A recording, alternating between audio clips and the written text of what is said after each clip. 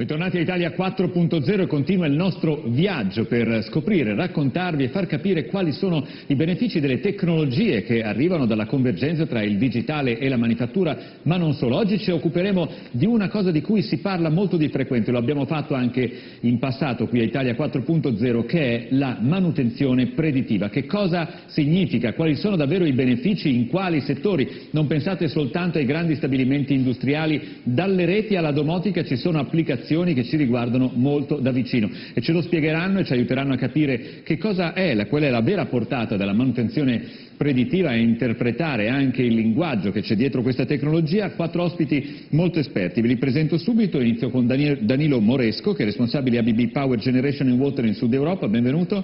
Accanto a lui c'è Fabio Moioli, direttore della divisione Enterprise Services di Microsoft Italia. Grazie mille, buonasera. Giulia Baccarini, cofondatore di MIPU e Managing Director di iCare, Grazie, benvenuta. E Luca Fumagalli, ricercatore del Politecnico di Milano, dove è responsabile anche dell'Osservatorio Tecnologie e Servizi per la manutenzione preditiva. Allora Fumagalli inizio da lei, titolare dei dati, della conoscenza su questo osservatorio, per una definizione innanzitutto. Cosa si intende quando si parla di manutenzione predittiva? Beh, si parla di, quel, di quell'attività di manutenzione che fa evolvere quella che è l'attività correttiva, vado e riparo il macchinario o l'oggetto che si guasta, eh, passando a un'attività che invece è programmata sulla base invece di un calendario, uno scadenziario, fino ad arrivare a programmarla sulla base dei dati, sulla base dei sensori, sulla base di informazioni che indicano lo stato di salute vero della macchina, proprio come fa un dottore, un dottore ci fa degli esami e ci indica chiaramente che cosa dobbiamo fare. In sostanza, lo raccontiamo eh, da ormai quasi due anni, il 4.0, al centro del 4.0 c'è la connettività, il fatto che le macchine si scambiano dati, si scambiano informazioni e tra queste informazioni ce ne sono tante che riguardano il loro stato di salute. Lei citava il dottore, cioè le macchine ci fa, fanno capire ad altre macchine e infine anche agli operatori quando hanno bisogno di un intervento, è così? Certo, è proprio così, le macchine iniziano a parlare, parlano col modo con cui possono fare sostanzialmente attraverso eh, il loro degrado, attraverso i segnali che noi possiamo raccogliere con tutte le tecnologie eh, dell'industria 4.0 e mettono a disposizione tantissime informazioni che noi dobbiamo sapere interpretare per poi prendere le azioni giuste, perché da questo conseguono davvero tanti benefici per, eh, per l'attività produttiva. Oh, detta così potrebbe essere una evoluzione di servizi per chi già fa in azienda la manutenzione, qualche novità tecnologica. In realtà quali sono i veri benefici che anche a chi guida le aziende in questo momento possono eh, rappresentare de dei momenti di svolta della manutenzione preditiva e perché? Beh, eh, sicuramente un beneficio classico è quello di eh, aumentare la disponibilità degli impianti produttivi e aumentare la, la capacità produttiva. Perché si, devono, si, possono ridurre i fermi, Si diciamo, riducono i fermi impianto, si riducono quelle che sono le fermate ovviamente dannose perché non permettono di realizzare i prodotti per i clienti. Però questo lo si fa anche con una manutenzione eh, ben, ben, regolata. La predittiva ci permette di ascoltare i macchinari e quindi di curarli meglio e se possiamo curare i macchinari meglio eh, abbiamo una migliore efficienza energetica, abbiamo un miglioramento nella qualità dei prodotti e non pensiamo solo al prodotto metalmeccanico, pensiamo anche al prodotto alimentare. È fondamentale eh, anche garantire la, la qualità di questi prodotti e la predittiva e l'ascoltare le macchine aiuta sicuramente questo Quindi è proprio aspetto. un modo diverso di relazionarsi con le macchine che aiuta l'efficienza, riduce gli sprechi e quindi a livello di sistema degli impatti molto importanti. Moresco condivide, l'abbiamo raccontata nel modo giusto questa manutenzione predittiva o no? Assolutamente sì, fa parte del percorso che abbiamo avviato da, da molto tempo per dare supporto alla trasformazione digitale dei nostri clienti. Eh, c'è un investimento importante da parte del nostro gruppo su questi temi, ci, oltre il 3% del nostro fatturato che, che, pesa circa 2 miliardi e 2 all'anno è proprio in ricerca. Eh, per supportare al meglio eh, il mercato altre due linee di investimento sono fondamentali. La formazione, formazione proprio su mh, tutto il filone digitale, per aziende come la nostra è fondamentale mantenere la competenza sul processo, sull'automazione dei processi principali e l'aspetto poi complementare è quello proprio della parte software, della parte digitale. E infine gli investimenti sulle infrastrutture, infrastrutture di, di, supporto per poter gestire anche impianti da remoto e monitorare questi impianti e quindi tutti gli aspetti legati alla manutenzione degli apparati rilevanti degli stessi. Oh, la manutenzione si è sempre fatta, no? però questo è proprio un modo diverso e molto coerente con il carattere un po' rivoluzionario del 4.0, della connettività, della convergenza, dicevamo, tra il digitale e la manifattura tradizionale. Voi l'avete sempre seguita e curata. Qual è la principale diversità rispetto al passato che oggi introduce questa tecnologia? La principale diversità è che oggi si può parlare di Collaborative Operation Center. Questi centri da remoto sono davvero collaborativi. Vi faccio degli esempi pratici. In, eh, in Porto a Genova abbiamo una sala controllo da cui monitoriamo 700 navi 700 navi che vengono anche supportate, quindi i comandanti delle navi sono supportati dai, dai nostri operatori, ad esempio nelle rotte ottimali per gestire al meglio il consumo e anche i tempi. I tempi. E, il collaborativo... È come se fosse una torre di controllo che a distanza aiuta i comandanti di queste navi nelle loro operazioni e anche nell'avere sempre tutto sotto controllo. Ma non solo i comandanti, mette in contatto la nave con l'armatore e con ABB e, e, questo è un primo elemento anche per uno scambio di informazioni con tutte quelle che sono realtà che possono offrire competenza e qui anche con Microsoft abbiamo una, una partnership importante proprio perché sono temi che eh, so, sono alla base della condivisione delle informazioni e della gestione dei big data. Allora, siamo, pass siamo passati dagli impianti della metalmeccanica più tradizionale, siamo già arrivati alle navi, sono sicuro che tra poco vedremo anche degli altri esempi interessanti, perché questo fa parte un po' di, dei diversi aspetti della trasformazione digitale che eh, sta avvenendo a con un ritmo sempre più eh, elevato. Cosa cambia la manutenzione predittiva, come la interpretate voi nel rapporto con le aziende? Beh, la manutenzione predittiva, come è stata descritta, è qualcosa di molto ampio, quindi porta numerosi benefici. Sicuramente riduce fermi macchine, è ovvio, è la prima cosa a cui si pensa, però già si è menzionato come può ottimizzare il consumo delle materie prime, come può permettermi di, quando ho una macchina più performante di altre, capire la differenza, intervenire sulle altre e posso anche aumentare proprio la qualità del servizio offerto end-to-end, ad esempio anche riducendo i costi di intervento, perché quando io posso pianificarli ottimizzo magari l'intervento delle squadre. Poi la progettazione predittiva fa parte di una visione più ampia della trasformazione digitale, perché è chiaro che poi ci sono tante altre tecnologie che le possono valorizzare ancora di più questa manutenzione predittiva.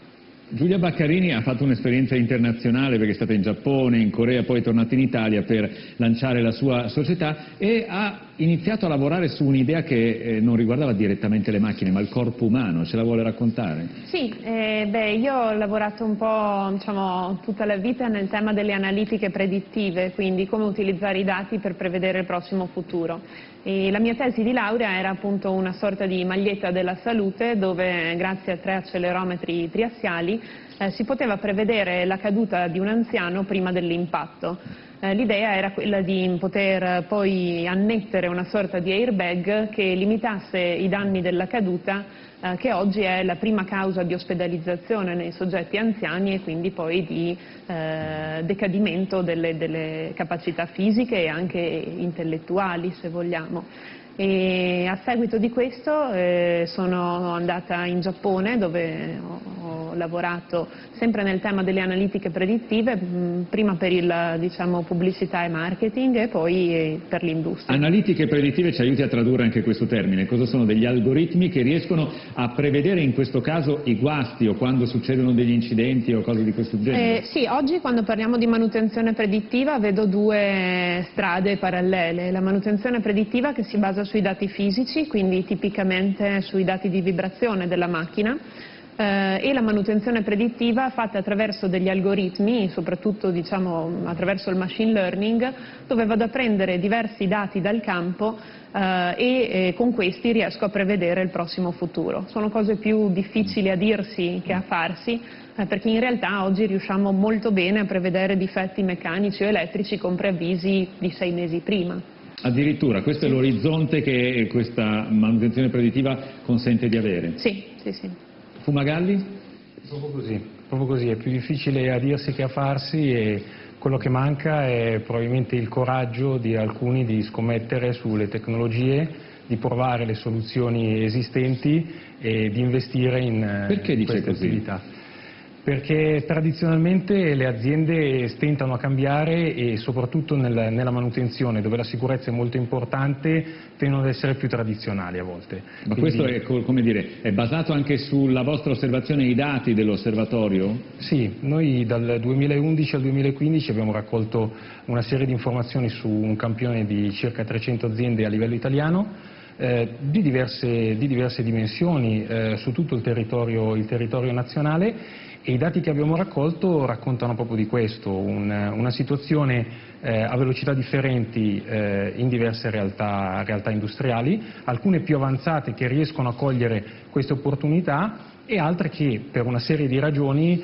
non riescono a digitalizzarsi, non riescono a investire in queste soluzioni e a fare quel passo, quel, quel salto di, di qualità. È un tema di comprensione delle tecnologie abilitanti ed è un tema anche di ingegneria, eh, è un tema di capacità di interpretare le informazioni e saperle trasformare in decisioni Senta organizzative. Fumagalli, ma questi dati arrivano al 2015, noi raccontiamo settimana dopo settimana l'impatto anche del piano 4.0, del governo, dei- degli incentivi fiscali, dell'iperammortamento. Siete convinti che siamo così indietro oppure nel corso di quest'anno in cui diverse cose si sono messe in moto anche dal punto di vista manutenzione predittiva è cresciuta la conoscenza, i progetti, gli investimenti? No, sta cambiando, sta cambiando tanto eh, sicuramente la situazione. Eh, alcuni adesso conoscono il, il termine manutenzione predittiva, si interessano, si documentano e poi probabilmente hanno bisogno di fare una serie di, di passaggi ulteriori per rendere eh, dall'investimento tecnologico la soluzione che vanno a realizzare funzionante eh, nell'arco probabilmente del, del prossimo anno e nel prossimo anno vedremo, spero, i Orioli, voi che lavorate su questo fronte, che idea avete della situazione? Com'è la temperatura delle imprese da questo punto di vista? Voglio dire due cose. Innanzitutto è una trasformazione che sta accelerando parecchio. Quindi quello che vediamo è proprio che c'è in questo momento un trend esponenziale anche in Italia e uno dei motivi principali per cui ciò sta avvenendo sicuramente sono l'agevolazione, il contesto economico e il cloud. Perché con il cloud uno può anche se è una piccola azienda accedere esattamente alla stessa tecnologia, è stato menzionato il machine learning, l'intelligenza artificiale della NASA, di una multinazionale, una piccola azienda possono accedere alla stessa tecnologia, che è importante. Volevo inoltre riprendere l'esempio molto bello dei wearable, perché manutenzione predittiva è anche predittiva nell'ottica di infortuni, quindi un tema fondamentale è come queste tecnologie possono permettere in modo importante di ridurre i rischi sul lavoro, di diminuire gli infortuni, perché i wearable sono un esempio, se la macchina si ferma prima di rompersi, magari quando si rompe è pericolosa, a seconda del tipo di guasto, ad esempio usando i servizi cognitivi, quindi il modello le macchine che con l'intelligenza artificiale riconoscono gli oggetti, riconoscono il suono, il parlato, posso avere una macchina che mi riconosce, se non sono un tecnico abilitato si ferma, posso avere, se voglio, con delle telecamere, una capacità di capire che una scala appoggiata mani può cadere o che un macchinario non è utilizzato in modo opportuno e quindi tutti infortuni Quindi, che si possono eh, prevedere. Come dicevamo all'inizio, attenzione, non è soltanto un discorso che riguarda le macchine che si parlano tra di loro, riguarda anche l'interazione nelle aziende, nei luoghi di lavoro tra gli uomini e le macchine, riguarda l'efficienza, riguarda la riduzione degli sprechi, riguarda un modo diverso di far funzionare gli impianti. Moresco è anche nella vostra esperienza questo? Anche nella nostra esperienza, riprendo il tema della sicurezza sul lavoro, che è fondamentale. Eh, noi abbiamo sviluppato un'applicazione no, che viene installata sugli smartphone di tutti i dipendenti, l'abbiamo in uso adesso a circa 30.000 eh, dipendenti nel mondo, dei 135.000 che, che occupiamo, è un'applicazione per monitorare tutte quelle che sono le situazioni di rischio sul lavoro, quindi gli hazard, i cosiddetti near miss, e abbiamo visto come eh, ci sia una stretta correl- co- correlazione tra una reportistica delle situazioni di potenziale rischio e la riduzione eh, degli infortuni. Questo tipo di applicazioni sono applicazioni digitali che aiutano proprio a migliorare la sic- sicurezza sul lavoro. Alcuni clienti stanno scommettendo con noi proprio su questo tema e da centri di controllo remoto si possono dare servizi nuovi, proprio a vantaggio anche della, della sicurezza. I dati da gestire ci sono, le tecnologie abilitanti ci sono. Ehm, vi faccio un esempio pratico. Eh, in Italia abbiamo una potenza installata eh, di circa oltre 100 gigawatt. No? Il paese poi si sostiene con una domanda, dipende dalla stagione, di 50 gigawatt. Diciamo. ABB ha sistemi di controllo installati in Italia per coprire con, con, referenze tra impianti che sono in servizio e impianti che sono in conservazione circa 60 gigawatt. Questa è una base dati fondamentale per eh, lavorare all'ottimizzazione degli impianti. Gli impianti non lavorano più come lavoravano in passato. No? In passato determinati impianti erano pensati per lavorare a pieno carico praticamente ininterrottamente. Adesso ci sono necessità diverse, no? gli impianti sono chiamati a shutdown e a start-up più frequenti. È la cosiddetta tutti, smart grid di cui abbiamo parlato. Tutti i componenti sono soggetti a delle sollecitazioni diverse. Quindi la manutenzione predittiva è fondamentale proprio per andare a rilevare le condizioni degli apparati, allungare la vita degli stessi in modo tale da andare poi a, mh, ad aiutare i clienti proprio anche su, sulla produzione. Giulia Baccarini, è importante prevedere i guasti, i problemi anche per il tema sicurezza. Eh, sì, sicuramente il tema sicurezza è importante. Io credo che la predizione intanto sia solo il primo passo di un processo eh, prevedere che succederà qualcosa non è sufficiente.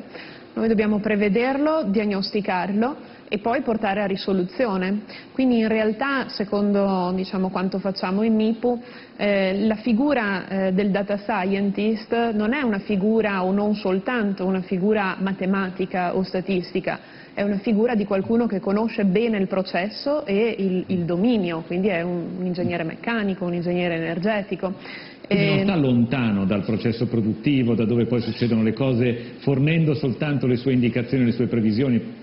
Assolutamente no, stare lontani dal processo produttivo significa eventualmente prevedere, ma dire a un imprenditore attenzione, guarda che succederà qualcosa, non porta questo grande vantaggio. L'interesse è dire attenzione che tra sei mesi si romperà il cuscinetto lato coppiato del motore numero 4. Moresto, siamo, siamo a quel livello anche nei vostri impianti? Assolutamente sì, quello è il livello, eh, l'attenzione che si deve avere anche eh, rispetto alla sicurezza dal punto di vista cyber security, perché poi ogni elemento che abbiamo in campo che consente di monitorare una situazione va anche protetto. E in questo senso noi stiamo investendo tanto sul fronte della protezione delle infrastrutture critiche, no? impianti che producono energia, eh, così come impianti di... Mh, eh, di distribuzione dell'acqua. Noi stiamo realizzando il sistema di controllo di tutta la rete idrica di Ho Chi Minh. Parliamo di circa 33.000 km di rete idrica che serve 8 milioni di persone. Pensate alla quantità di elementi rilevanti, di sensori installati che ci consentono di gestire l'intera rete idrica e ottimizzare le perdite. È fondamentale che questi sistemi siano protetti dal punto di vista della cyber security e in questo senso c'è un investimento forte da parte del nostro gruppo e dei partner che ci affiancano nell'applicazione proprio per essere al sicuro. Questo è il motivo per cui dicevamo all'inizio, attenzione, manutenzione predittiva è un concetto largo ma non riguarda soltanto gli impianti delle aziende più tradizionali, qui stiamo parlando delle smart city sostanzialmente. Stiamo parlando delle smart city, mm. ehm, pensiamo al settore dei trasporti. No? Eh, ci sono tanti scenari che si ipotizzano, ma eh, quelli più consolidati vedono entro il 2030 il 50% dei veicoli full electric. Quindi sarà importante avere un'infrastruttura di ricarica per gestire questi veicoli. In Italia abbiamo circa 39 milioni di veicoli. No? Ipotizziamo al 2030 quindi 20 milioni di veicoli elettrici sulla rete, che sono un impatto per la rete, ma sono un'infrastruttura da proteggere cioè la colonnina da ricarica va gestita dai centri controllo che devono essere sicuri, devono essere sicuri gli elementi in campo, sicure le reti e sicure le sale controllo. E quindi l'impegno forte è in questa direzione. Moioli? Questo qua è un concetto secondo me molto bello che fa capire come l'Industria 4.0, la manutenzione predittiva che è un di cui, può anche di fatto generare nuovi scenari di business. Quindi non è solo un fatto di fare meglio quello che facevo prima con meno costi, meno fermi macchina, meno utilizzo materie prime e tutto quello che è stato detto. Questo può anche generare dei nuovi scenari di business, faccio un esempio, ThyssenKrupp che fa ascensori, un'azienda tedesca con cui stiamo lavorando, li vendeva, quindi lei vende gli ascensori un prodotto, manutenzione predittiva ha iniziato a dire io posso anticipare la riparazione.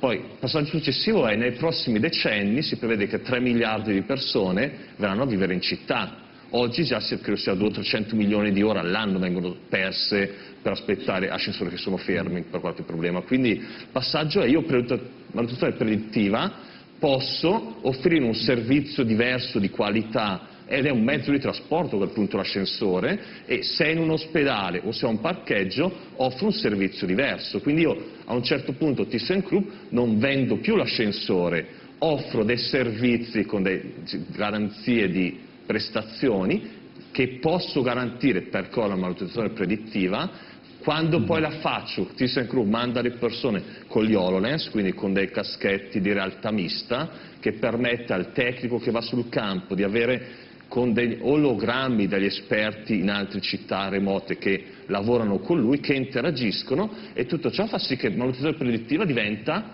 un nuovo modo di fare business strategico addirittura. Assolutamente, questa è una delle cose più interessanti di tutto il 4.0, la possibilità di riguardare al proprio business e di rivoluzionarlo in maniera importante. Ma quali sono gli sviluppi, voi che lavorate su questi algoritmi e il trattamento dei dati, quali sono gli sviluppi più interessanti che abbiamo sentito parlare adesso di città, delle auto elettriche, anche l'infrastruttura di dati che dovrà consentire alle auto che si guideranno sempre di più in maniera autonoma è di fatto un modo di prevenire, di prendere delle decisioni che sono guidate da algoritmi. Ma sì, eh, mi mh, mm, piace riprendere l'esempio delle smart cities perché esiste all'interno del gruppo MIPO un'azienda, si chiama di Energy Audit, che ha realizzato un algoritmo grazie al quale sulla base di dati già disponibili nelle nostre città o nei nostri quartieri posso prevedere quale sarà il fabbisogno di acqua potabile in quale momento e così andare a intercettare ad esempio dove ci sono fughe o eventuali frodi, quindi perdite nella rete di distribuzione. E come purtroppo sappiamo l'Italia ad esempio è un paese dove tra l'acqua che viene estratta e quella che poi riesce ad arrivare al rubinetto esistono differenze anche del 40% con punte del Quindi non 70%. bisogna andare a Ho Chi Minh come hanno fatto loro che stanno lavorando in Vietnam per rendere più efficiente anche l'acquedotto e la rete idrica, anche qui ne avremo molto bisogno. Ne avremo estremo bisogno e mi fa piacere di dire che eh, una tecnologia, un software italiano sviluppato da, da, da ragazzi italiani eh, è stato acquistato per esempio dal governo della Corea del Sud, eh, quindi che diciamo, anche da noi esiste una buona creatività e anche una buona tecnologia e l'Italia è un paese esportatore non solo di food, fashion e furniture. Ma, ma, anche di tecnologia. Ma Fumagalli, qui in Italia invece le pubbliche amministrazioni, le società che adesso sono anche miste, non solo pubbliche, che gestiscono queste reti, vanno in questa direzione sì. oppure sono ancora dire, alla manutenzione del prima, del 4.0? No, no, le società, soprattutto quelle che si occupano di infrastrutture, vanno in questa direzione perché proprio già eh, per la capillarità che hanno dei loro impianti sul territorio sono dovute andare in questa direzione per supervisionarli e per controllarli. E forse sono state anche tra le prime che in qualche modo hanno, hanno colto questa, questa, occasione. Poi è chiaro, anche lì vale, vale, un distinguo, ci sono società e società, eh, sicuramente chi gestisce reti di energia elettrica si è trovato avvantaggiato, chi gestisce reti di infrastrutture di telecomunicazione anche, chi gestisce reti acque si è trovato di fronte magari a problemi più più hard, più, eh, più concreti e più meccanici prima che, eh, che dell'analisi dei dati, però eh, gli investimenti ci sono, lo sviluppo, lo sviluppo c'è e la distinzione secondo me non è tra pubblica amministrazione Giulia Vaccarini vuole aggiungere qualcosa? Sì, mi, mh, mm, parliamo spesso de, de, e giustamente dei grossi gruppi piuttosto che della pubblica amministrazione. Mi piace di ricordare che tra mm, tanti nostri clienti sono aziende italiane anche di media o piccola dimensione. Eh, la Villani Salumi che, che, appunto fa degli ottimi salumi è un'azienda familiare che sta rivoluzionando la maniera di fare manutenzione con la manutenzione predittiva e i modelli predittivi applicati ai dati energetici, la Serial Docs che è un'azienda del, del, Padovano che sta facendo altrettanto, sono aziende di media dimensione, di carattere familiare, ma che davvero hanno un occhio al futuro, al Mogliori Moresco, questa è un po' la filosofia anche di questo programma, cioè portare più vicino anche possibile agli imprenditori piccoli, medi, piccolissimi italiani l'insieme, la combinazione di queste tecnologie 4.0 che secondo alcuni sono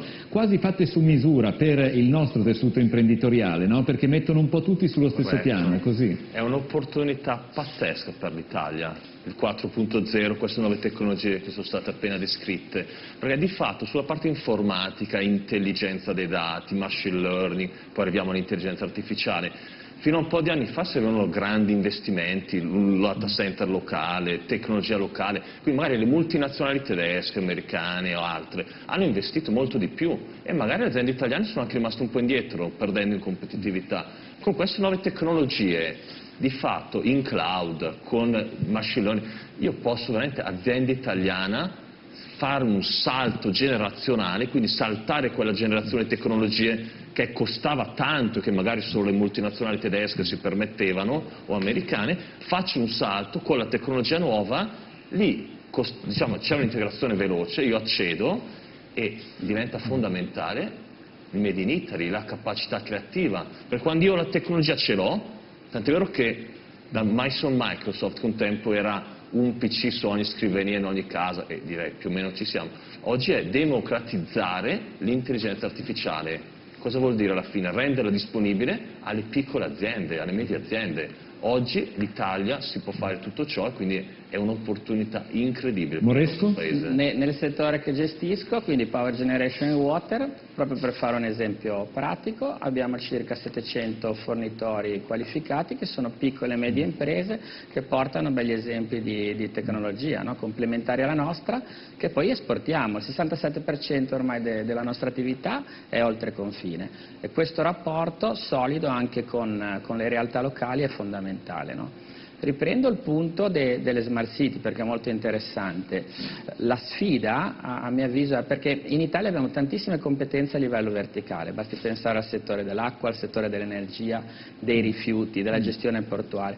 La sfida di domani è quella di aggregare i dati. No? Noi stiamo cercando di supportare le città con progetti, ad esempio, dei, dei distretti intelligenti no? di riqualificazione urbana, proprio nel realizzare delle sale controllo, delle control room of the city. Come quelle che stiamo vedendo passare in queste immagini sostanzialmente. Sì. Eh, esatto, questo è il Mose di Venezia. E proprio sale controllo che consentiranno che cosa? Di monitorare dei key performance indicator e poterci dare delle chiare indicazioni in merito alla sostenibilità di quell'area, alla competitività, alla qualità della vita delle persone che, che, vi abitano. E vi potete immaginare che poterlo farlo è necessario integrare dati, integrare informazioni e anche saper prevedere proprio nel dettaglio tutti questi processi. Quanto siamo lontani da questa realtà? La tecnologia è vicinissima, bisogna stimolare un rapporto con le istituzioni ancora più importante, bisogna stimolare anche dei cambiamenti legislativi che possano favorire. In Nord Europa queste cose si fanno, le nostre tecnologie le stanno utilizzando e possiamo farlo anche e in magari Italia. dove sta l'Italia nel confronto internazionale da questo punto di vista? L'Italia sta, sta messa bene, non siamo, non siamo così, Questa è una buona notizia. Mm. Eh, noi abbiamo sviluppato una ricerca con degli indicatori di, di maturità, di readiness alla, alla, digitalizzazione, quindi quando siamo pronti e ci sono davvero tante tante, tante eccellenze, eh, tante eccellenze da cui, da cui prendere esempio. Quindi, eh, oltre a guardare all'estero, perché poi come, eh, diciamo, come, abitudine di paese ci piace guardare all'estero e quindi sicuramente negli Stati Uniti ci sono soluzioni interessanti, dobbiamo anche guardare a soluzioni ottime che, eh, che realizziamo in, eh, in, casa nostra. E il settore dell'energy ne, ne, è un esempio chiaro, eh, tutto quello che è anche la, la, produzione siderurgica con gli alti e bassi, ma sicuramente in Italia vede, vede dei buoni esempi e degli ottimi, degli ottimi casi, eh, casi di studio appunto eh, fatti per eh, sviluppare la capacità di analizzare i dati per comprendere il funzionamento dei macchinari, macchinari davvero complicati, eh, macchinari che fanno eh, produzioni che servono per il bene, il, bene, del paese e è difficile a volte comprenderli, eh, in molte aziende i macchinari possono essere compresi solo da persone d'esperienza che però forse sono oggi in un, eh, viviamo un periodo di cambio generazionale, quindi dobbiamo anche saper impiazzare le persone con le nuove leve e la digitalizzazione aiuta anche questo passaggio. Lei citava la siderurgia, forse non a caso è uno dei settori più energivori in assoluto e quindi anche la capacità, la possibilità con queste tecnologie di riuscire a gestire in maniera diversa l'assorbimento di energia da parte dei macchinari è uno strumento con cui si raggiunge un'efficienza importante. Noi come Politecnico di Milano abbiamo fatto eh, un progetto importante con, con Tenaris Dalmine proprio su un forno ad arco elettrico che è una macchina altamente energivora e siamo andati a sviluppare una, una soluzione insieme all'azienda per la sicurezza dell'impianto che conoscendo meglio l'impianto poi ci ha portato anche a dare una serie di indicazioni che eh, speriamo in futuro possano essere utili anche per questo, per questo tema. Sì, beh, l'energia entra e esce dai nostri impianti un po' come il sangue nel corpo umano, cioè sicuramente un tema di interesse nel ridurre il consumo specifico, il costo specifico, ma l'esempio del sangue lo facevo per dire che l'energia è un vettore informativo importantissimo. Grazie all'energia come segnale base, opportuni algoritmi e dati che sono già nelle nostre aziende si riesce a prevedere eh, per esempio qual è il set point ottimale di un impianto oppure a pianificare la, la, la produzione in modo ottimale o intercettare inefficienze che altrimenti non avrei sotto controllo. E io voglio portarvi anche a dare dei eh, consigli pratici, in sostanza come affrontare per le imprese questo mondo della manutenzione predittiva, quali sono eh, gli elementi da mettere sul tavolo quando si inizia a discutere anche con gli esperti di queste tecnologie. Per lei? Ma eh, come diceva eh, il collega prima, il, un grosso sforzo è già stato fatto dalle aziende perché con la sensorizzazione, diciamo, l'installazione di molti misuratori, il, il, grosso del costo è già stato fatto. Quindi Io quello del passaggio, lo step numero uno è quello, la sensorizzazione dell'azienda. Lo step numero uno è avere dei dati. E molti imprenditori l'hanno già fatto e quindi oggi eh, dire, è categorico estrarre valore e creare un vantaggio competitivo con questi dati. Gli esempi che facevo prima sono eh, esempi e, e, ne ho infiniti altri di, di aziende di dimensione media eh, che stanno portando dei vantaggi competitivi in casa importanti con investimenti Però il passaggio contenuti. successivo è quello da questa massa di dati ottenere delle informazioni, trasformarle eh sì. in dei messaggi, dal big data al big message, sì, è così? Sì. Io eh, il suggerimento che mi sento di dare è di eh, lavorare con, ehm, con persone che abbiano conoscenza del dominio quindi non la predittività come, eh, come valore assoluto, eh, ma piuttosto la precognizione, quindi prevedere eh, conoscere e interagire. Stiamo sviluppando in MIPU per esempio um, una serie di, di, di, interfacce, si parla di uh, Natural Language Interface, qualcosa che possa a bordo macchina dire al manutentore eh, non so, devi lubrificare il cuscinetto o devi um, sistemare diciamo, il, il Glielo dice, se vogliamo arrivare sì. al livello in cui la macchina glielo dice, glielo dice direttamente. Fumagalli? Sì, ed è, ed è proprio così, l'importante poi per, per gli imprenditori è capire che in questo momento di passaggio, eh, e mai come adesso, eh, devono essere capaci di collezionare quelle che sono le competenze del mercato e crearsi una, una rete di, di partner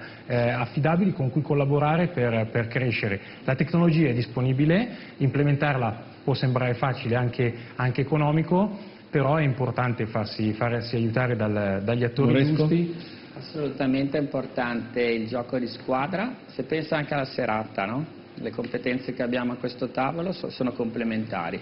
Eh, bisogna essere disponibili a investire e realizzare dei pilot, mm. dei pilot per anche testare nuove tecnologie in ambiti circoscritti, protetti e una volta che sono testate al meglio poi diffonderle a livello industriale. Lei ha visto una crescita della consapevolezza e anche un po' dell'apertura delle imprese verso questo mondo, anche in particolare quest'anno, nel 2017, che abbiamo detto è stato sicuramente anche segnato dagli incentivi del governo? C'è una crescita importante, di sicuro il programma del governo ha favorito anche eh, per le candidature sui programmi Lighthouse, noi ad esempio siamo candidati, e, c'è una consapevolezza diversa rispetto al passato, è importante, dicevo all'inizio, investire nella formazione delle persone, no? per mantenere quelle competenze di processo necessarie e associarle alle competenze più digitali che sono fondamentali per questo tipo di percorso. Questo è un tema su cui noi torniamo sostanzialmente ogni settimana perché ognuna delle tecnologie che vi raccontiamo richiede anche la presenza in aziende di figure che non sono quelle tradizionali. I manutentori tradizionali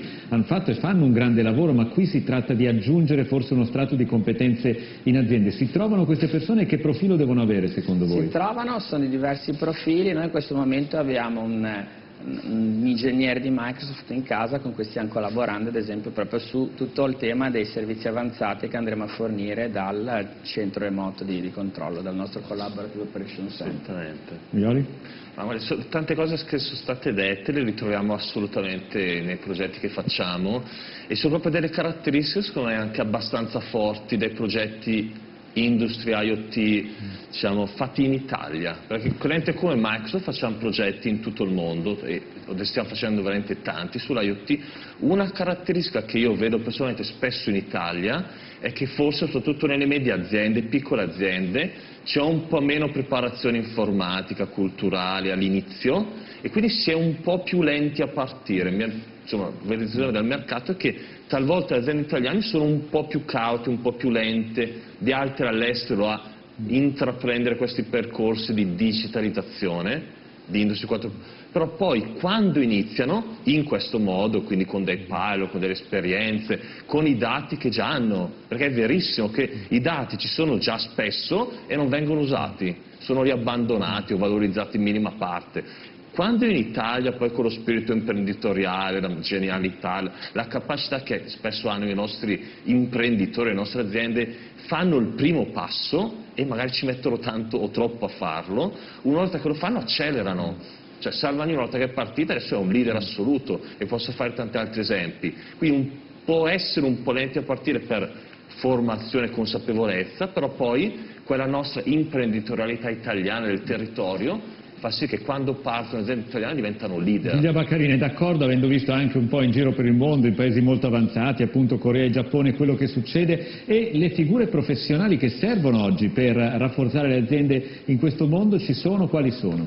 Ma io credo che eh, abbiamo un problema di scollamento e, e, il Politecnico di Milano sta sicuramente lavorando tanto in questa direzione, anche l'Università Bicocca, ma abbiamo bisogno di sempre più istituzioni universitarie che, che ci lavorino. Un problema di non scollamento. solo a Milano, eh, ci stanno lavorando anche i Politecnici in giro per l'Italia. Esatto, esatto. No, ehm, un problema di scollamento tra le figure professionali di cui le aziende hanno bisogno e quelle che sono disponibili. E Confindustria stima che entro il 2020 ci saranno 600.000 posti di lavoro che non sapremo a chi dare. Mm. Devo dire, io ho 33 posti di lavoro che non so, ah, che non so è una notizia, quindi voi in questo momento avete sì. 33 posizioni, posizioni aperte. aperte. che non riuscite ad occupare. Eh sì, eh sì. ce l'abbiamo in realtà da, da, da inizio anno e stiamo facendo tantissimi colloqui, però c'è una grande mancanza, credo, soprattutto di... Ci fa capire cosa cercate? Bah, eh, informatici, informatici con conoscenza di Python, eh, ingegneri meccanici, eh, ingegneri energetici con buona questo conoscenza dei processi. Questo non è un vostro problema aziendale, questo è un problema del Paese. Perché questo se è un problema del Paese. non si mette in linea ci vorranno degli anni perché riusciamo a sfornare anche le competenze giuste ma rischiamo di perdere un treno, di restare indietro e che il resto del mondo, i paesi che ci fanno concorrenza in tutti i settori industriali e dei servizi andranno molto più avanti. Che state facendo al Politecnico da questo punto di vista? An anni fa, in tempi non sospetti, il Politecnico come, come Ateneo ha avviato ingegneria matematica, quindi eh, un percorso che formava le persone a sviluppare competenze di matematica ma per l'ingegneria. Ingegneria vuol dire saper risolvere un problema, quindi non solo per la ricerca. E adesso, se guardiamo quello che ha bisogno il mercato, ha bisogno di queste figure. E questi tipi di competenze sui data analytics le stiamo sempre più portando nei diversi corsi, corsi di studio. Moresco? Siamo presenti in 100 paesi per accelerare questo percorso noi stiamo favorendo tantissimo la job rotation fra un paese e l'altro, no? in modo tale da avere persone italiane, colleghi italiani che vanno all'estero e viceversa. E questo ci dà modo di migliorare dal punto di vista della collaborazione interna ma anche di accelerare il percorso eh, di apprendimento anche su queste tematiche che, che, è fondamentale. Competenze sono il vero collo di bottiglia in questo momento, non sono tanto gli investimenti probabilmente perché l'accesso al credito per chi ha progetti sani è forse più facile di un tempo, forse perché poi ci sono tante aziende che comunque continuano ad avere difficoltà, ci sono gli incentivi del governo e saranno validi per tutto il 2018, ma poi davvero se non ci sono le persone cioè sono l'elemento chiave e l'Italia può offrire tantissimo, può offrire tantissimo. In ambito energia quello che è stato fatto lungo l'intera catena del valore no? per efficientare dalla power generation sino alla distribuzione passando per la trasmissione è veramente qualcosa di unico. Forse abbiamo peccato nella pianificazione, perché sono stati fatti prima tutti gli impianti eh, termici convenzionali, poi per dieci anni abbiamo fatto cicli combinati e poi rinnovabile. Però abbiamo imparato tantissimo e tutto quello che abbiamo imparato in questo mix lo possiamo proporre all'estero. Quindi a volte pecchiamo in pianificazione, ma dal punto di vista delle competenze, le competenze ci sono. Allora, io voglio nell'ultimo giro chiedervi come vedete il futuro di queste tecnologie dal 2018 in avanti, dove davvero stiamo andando e qualche esempio anche di cose che in concreto ci aiutano a capire come prepararsi a questa rivoluzione. Moioli. Siamo all'inizio di una grande rivoluzione portata dal digitale, poi dall'intelligenza artificiale che è uno dei grandi motori che trasformeranno il mondo e sicuramente una delle grandi sfide è quella delle competenze perché sempre più serviranno le competenze che sono state descritte, che sono competenze tecniche, quindi competenze tecnologiche, ma serve sempre più anche avere un management, una leadership, in generale chi fa altri lavori che sappia come usare queste tecnologie nuove, perché ad esempio prima si parlava di conversare con la macchina, lo diceva lei, oggi, anzi il 20 agosto, quindi qualche mese fa, l'intelligenza artificiale Microsoft ha superato nella capacità di capire il parlato a livello di dettatura non tanto i competitor, che non è interessante più di tanto, ma ha superato le migliori dattilografi al mondo qualche mese fa. Ed è l'inizio di un percorso, quindi sono tecnologie molto molto potenti che le persone devono sapere valorizzare per lavorare meglio, per offrire un servizio migliore, quindi c'è una grande trasformazione di competenze di nuovi lavori che verranno creati che già 33 non vengono trovati oggi, saranno molti di più quelli che non vengono trovati se le persone non si preparano alla trasformazione che sta arrivando. Ad oggi si calcola siano 200.000 le posizioni di lavoro che non si riescono ad occupare in questi settori industriali perché non ci sono le competenze giuste. Fumagalli, però come vedete allora il futuro da questo punto di vista manutenzione predittiva? Eh, non c'è soluzione, si dovrà andare del, verso le soluzioni di manutenzione predittiva, non, non c'è opzione, non, questo sarà il futuro, per essere competitivi si dovrà investire in, in digitalizzazione colmando quelle che sono le, le carenze attuali, quindi eh, trovando le figure professionali corrette, trovando eh, le 30 persone da assumere nelle aziende, eh, colmando quel gap di, di, maturità che è fatto anche di eh, non avere così tanti ingegneri nelle aziende, eh, anche per, per, situazioni tradizionali, anche per, per, lavori tradizionali. Colmando questo gap poi si arriverà sicuramente a poter meglio sfruttare e a poter meglio far leva sul, sulle nuove tecnologie, perché le tecnologie sono pronte le soluzioni ci sono, eh, bisogna essere pronti a, a, utilizzarle e a sfruttarle al meglio. Questo Giulia Baccarin? Ma guardi, io eh, sono rientrata dal Giappone nel 2008 per eh, cofondare insieme a due ragazzi del Belgio la prima azienda che si chiama IKEA e fa proprio manutenzione predittiva non attraverso il machine learning ma attraverso l'analisi delle vibrazioni. E, mh, mm, era una cosa nuovissima, e avevamo 26 anni e credo che le difficoltà di portarla sul mercato le abbiamo trovate tutte. Compreso il farvi finanziare se non sbaglio. Esattamente, esattamente. Infatti noi non abbiamo nessun finanziamento né pubblico né privato. Io facevo la cameriera, il mio socio faceva il meccanico a tempo perso nel, nel garage del papà. Oggi abbiamo 200 dipendenti, siamo in nove paesi del mondo, con MIPU dal 2012 insieme al mio socio cofondatore abbiamo 50 dipendenti, facciamo solo analitiche predittive e machine learning in Italia.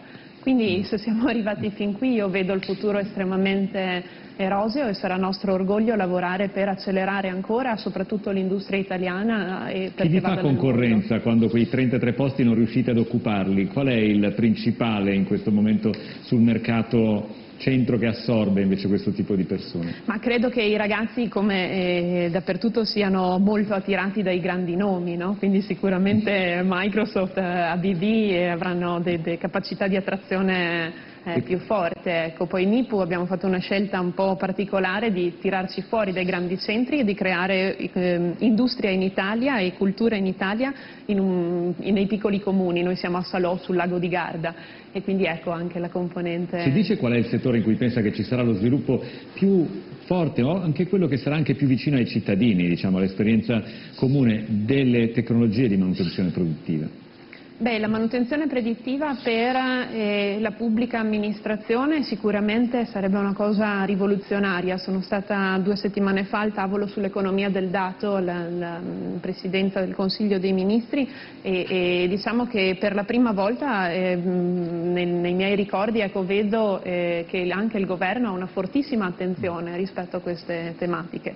E dal punto di vista industriale credo che tutti i settori verranno toccati, tra i nostri clienti ci sono da da, dai supermercati agli ospedali passando per uh, le case farmaceutiche, i salumifici, quindi è veramente democratico come dicevamo prima. Moresco. Il futuro è nelle nostre mani, perché le tecnologie ci sono, il mercato anche, pensando all'IoT, pensando allo sviluppo in ambito energetico. Ci sono anche nuovi elementi rilevanti da controllare, no? pensiamo agli storage, parlavamo prima di eh, colonnine di ricarica.